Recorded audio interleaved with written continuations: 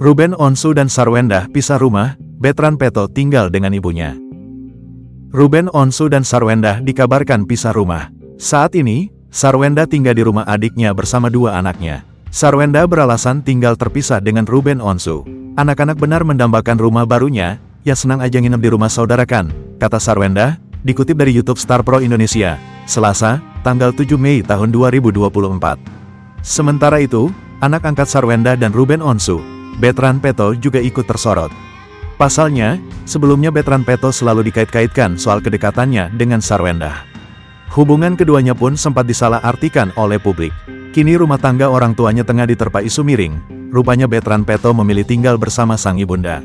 Dikatakan Sarwenda, selama dua bulan ini bahwa anak-anaknya ikut tinggal bersama dirinya. Tinggal serumah sama anak-anak, aku sama anak-anak, ujarnya.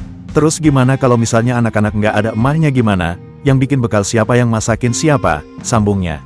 Ketika ditanya soal komunikasi dengan Ruben Onsu saat ini, sayangnya Sarwendah memilih untuk bungkam.